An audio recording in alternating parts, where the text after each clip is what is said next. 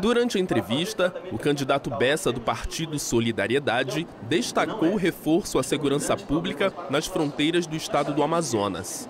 E nós vamos cobrar e pedir é, mais efetivos, nós precisamos desses, desses investimentos na fronteira.